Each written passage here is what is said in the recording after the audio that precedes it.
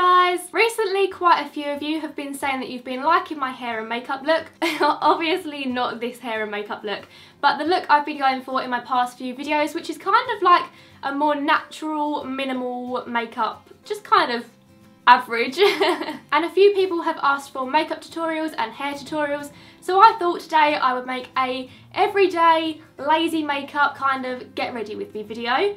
So without further ado, let's go. So the first thing I have been doing when I wake up in the morning is treating my skin. I've found that if you really take care of your skin, your overall makeup look looks a lot nicer. So the product that's been keeping my skin looking nice recently is this. It's from a company called Vanity Planet and it is the Ultimate Skin Spa Facial Brush System. You may have seen products like this.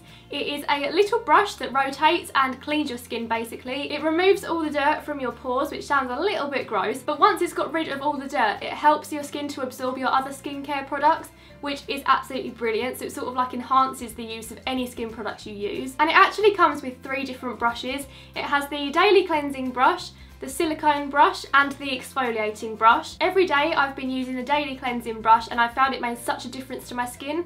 It's really, really gentle on the skin, so if you have quite sensitive skin, it will still be fine. And Vanity Planet have actually hooked you up with a really good deal. So using the discount code, which is down in the description, FABH70, you can get 70% off this product. Its usual price is $125. So if my maths is correct, 70% off of that price is $37.50, which translates to £26. So you can get this full system with all three brushes for £26 with that discount code, which is absolutely absolutely amazing. So yeah, get your hands on one of these while the discount code is still valid and you will thank me later. I'm going to move you a little bit closer so you can see what I'm actually doing. Prepare yourself because I look a little bit scary. so the next thing I've been doing is moisturising my skin. Every single morning I definitely make sure I have time to moisturise. I use the Garnier Moisture Protect Moisturiser and this absorbs into your skin really quickly which I really really love. You definitely don't need too much of it but it is a glowy moisturiser so it helps your skin glow. I am not a person that can multitask. I am struggling to rub this in and talk at the same time, I'm not gonna lie. My skin's been so good this whole month, then as soon as I want to film a video with no makeup, my skin just decides to have a breakout and let me down. As I've said, I've been liking the natural makeup look, so I've been using a BB cream rather than a full coverage foundation, and I've been using the Rimmel BB cream in the shade Light. I don't really know why I chose this one over all the other BB creams.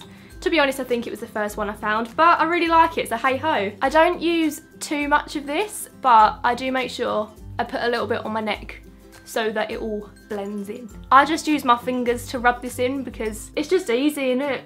So much easier than using a brush. And you've got fingers, might as well use them. Right, now my BB cream is done, it is time to conceal. As you can see, got a little spot right on the end of my nose.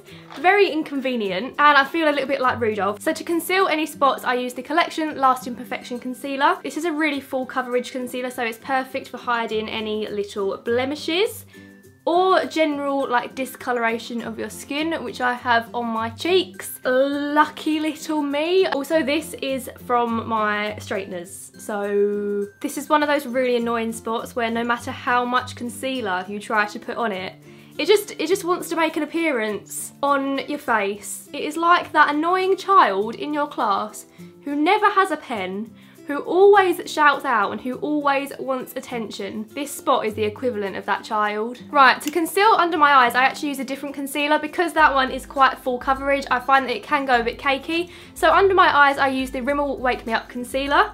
This is the shade Ivory because as you can see, I'm very pale. That's okay, we can, we can work with it. That's what bronzer's for. Am I right? Now I'm going to bronze so that I look less ghostly. So the bronzer I use is the MAC Bronzing Powder in the shade Matte Bronze. And when I'm putting it all over my face, I use the Real Techniques powder brush. And then this is like my favourite part of doing my makeup because I feel like it can be really reckless and as long as it's even, it doesn't matter. Also on camera, it looks like it's not making a difference at all, but In real life, I can assure you, it makes me look less dead. Also remember to put this on your neck if you're using bronzer because otherwise you're gonna look a little bit funny. It's gonna look like you've been wearing roll necks in the summer. Right, and then I'm using the same, whoa. Oh, I just digged my nail in it. That is so annoying. So now I'm gonna use the same bronzer to contour and I've switched to the Real Techniques 103 Bold Metals brush. So dab it in, then suck your cheeks in like a little fishy. Voila, a cheekbone. if I'm feeling a little bit risque or I've got a little bit more time on my hands, maybe I didn't get up as late as usual, I will use a little bit of blusher. So this one is the MAC Stay Pretty blusher and I use the Real Techniques 300 Bold Metals brush. Just take a little bit of that, you literally only need a tiny bit. Everyone else does that, so I do it too. and then I just put this on the apples of my cheeks. Wow, that made such a difference. Eyebrows are the next step. So I take this brush, which is the Real Techniques brow brush, along with this. It's a little thing, you know, looks like a bit like a mascara thing. And I got this when I was about six, I think, to be honest. I've had it for ages, but you know, it still works. So I'm yet to buy one that looks more grown up.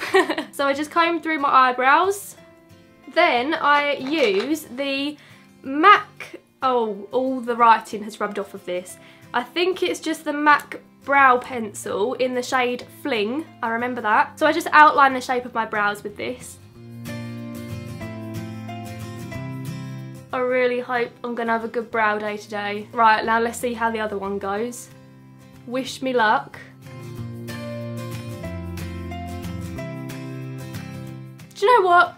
That'll do. Then I fill in my brows with the Collection Work the Colour Eyebrow Kit. This is the blonde one, because I am blonde. And I use the lightest shade from this. Not sure how this classifies as blonde. Take a little bit of that, do a little bit of this. And then I take the clear brow gel, which was clear when I got it, from the same eyebrow kit and just comb through my brows to keep them in place. Then from the Naked palette, I take the shade Virgin and put this, it's this lightest one, put this under my eyebrows to enhance the highlighted brow bone. So the next step is curling my eyelashes. I always curl my lashes. It takes literally like 10 seconds and it makes such a difference to the appearance of your lashes. So I would 10 out of 10 recommend. This looks so freaky. Like when did we decide as a society that using a metal contraption this close to your eyeball was a good idea. The mascara I used is the 17 Falsifeye HD mascara. This is the only mascara I've used for quite a long time now because it's the one I like the best and I literally just beep beep beep beep beep beep beep beep. The contraption is back. Now I'll let them dry a little bit and then do the second coat. The second coat really does make a difference with this mascara. I don't know why, but it really sort of adds a little final touch. If I've not been in focus the whole time, I'm gonna be really annoyed when I watch this back. So as you can see, this is with two coats and this is with one coat, so it really does make a difference. There we go, eyes are done. I'm not gonna use any eyeshadow or eyeliner or anything like that because if I'm having a lazy day, I won't do any of that. And the final step is to powder. So to powder my skin, I use the MAC Mineralized Skin Finish Powder in the shade Light. And again, I'm just gonna use the Real Techniques powder brush, dab it in, do the thing, and put this all over my face. I have quite oily skin, so I use quite a lot of powder, but if your skin isn't that oily, then Obviously you don't need as much powder. Obvious facts with Hannah. I'm gonna try again to conceal this spot because it's really bothering me. Much better. Um, for my concealer, by the way, I don't think I mentioned this. I use the Real Techniques contour brush. Oh, it's still there. Go away. I think that's going to have to do. So this has been the makeup. Oh, hang on. I'm not finished. I haven't done lipstick. and I haven't used this. So then the next thing I use is the MAC Prep and Prime Fix Plus spray and hold it about there maybe, I don't know, and just spray. And recently I've been wearing this lipstick a lot. My face now looks really, really glowy because it's wet. And this lipstick is Honey Love by MAC.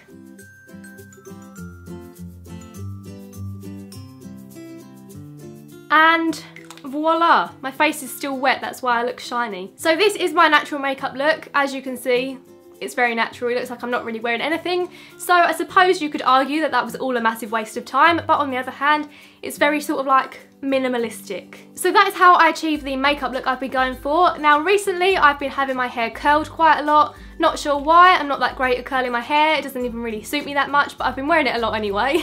so now we're going to move on to hair and I'll show you how I curl my hair. Righty ho, so the waving wand I use is the Babyliss waving wand, I think that's just all it's called. I'll leave a link to it down in the description if I can, but what I really like about this is that it's oval shape, so as you can see, it's not circle. So first of all, just brush through my hair. And then I will just split my hair in half and clip up the top half to keep it out of the way. Brush through the bottom half again. I don't know why I'm doing like a running commentary on this.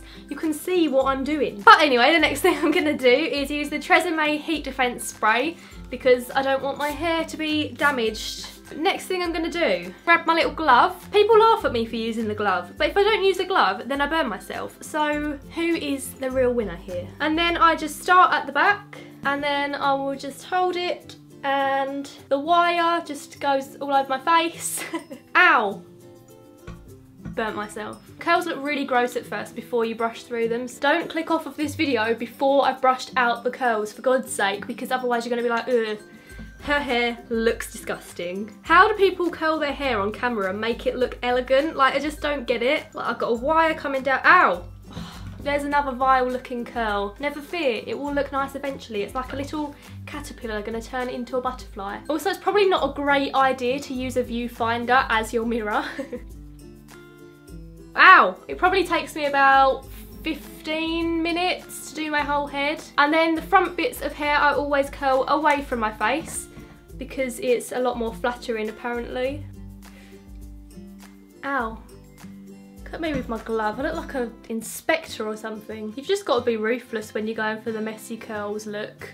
Or if you're not going for the messy curls look and it turns out messy, just pretend you were going for the messy curls look, do you know what I mean? Let your hair down. I'm gonna put my inspector glove back on.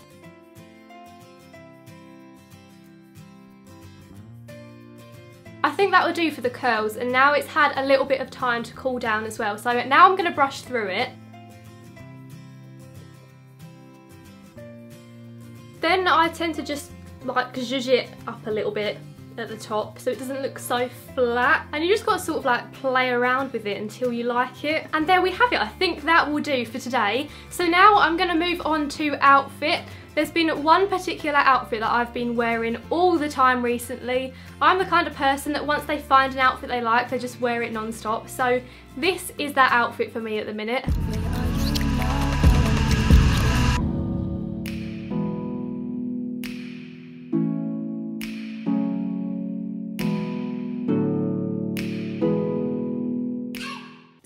There we have it. That is my get ready with me for my everyday kind of look. Don't forget to get your hands on one of these. It is an amazing offer for an amazing product and I would definitely recommend it if you're hoping to clear up your skin and just generally feel a little bit nicer in yourself. I really did enjoy filming this video, so if you enjoyed watching it, please give it a big thumbs up. I hope I've answered many of your questions about my recent hair and makeup look. Please remember to subscribe if you haven't already, and I will see you again next Thursday. Bye!